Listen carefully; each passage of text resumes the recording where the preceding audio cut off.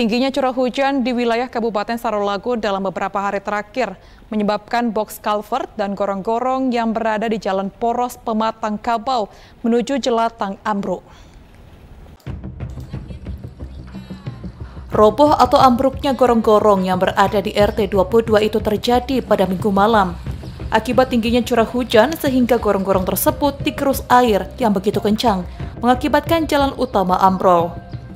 Kepala Desa Mentawak Baru, Saipul Akmal mengatakan, ambruknya box culvert atau gorong-gorong akibat hujan pada 25 Februari 2024 atau minggu malam. Dirinya berharap ada penanganan cepat dari Dinas PUPR Sarulangun. Karena jalan ini merupakan satu-satunya akses penghubung bagi masyarakat. Menurutnya, jika tidak cepat ditangani, jalan ini diperkirakan putus total. Selain itu dikhawatirkan terjadinya kecelakaan karena lokasi box culvert yang ambruk tersebut persis di dekat pasar Pentawak Baru yang selalu ramai aktivitas masyarakat.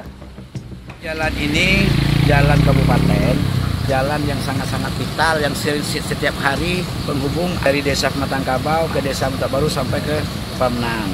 Tadi malam dengan derasnya hujan maka gorong-gorong ini ambruk.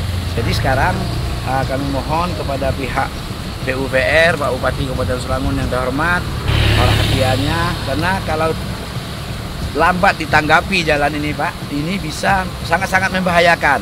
Bapak bisa lihat sendiri jalan ini masih tinggal lagi satu meter setengah lagi Pak. Oh, Sementara mobil yang lewat di sini berlalu lalang, mobil muatan sawit dan lain sebagainya. Dan lagi posisinya ini di tengah pasar Pak. Oh. Jalan utama posisinya di tempat keramaian Pak, di, di tengah pasar. Ya. Yang kita takuti jika lambat ditangani uh, nanti bisa mengakibatkan kecelakaan dan lain sebagainya. Untuk itu kami mohon kepada pihak PUPR untuk cepat anu, tanggap daruratnya ya. untuk menghindari hal-hal yang tidak kita inginkan seperti ya. kecelakaan dan lain sebagainya.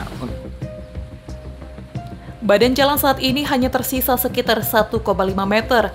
Jalan yang melintasi Desa Mentawak Baru, Kecamatan Air Hitam ini merupakan jalan kabupaten yang menghubungkan wilayah Kecamatan Air Hitam dengan Kecamatan Pamenang sehingga jalan poros ini merupakan akses utama bagi masyarakat air hitam untuk mengangkut sembako maupun hasil perkebunan. Bagas Setiawan, JEK TV, melaporkan.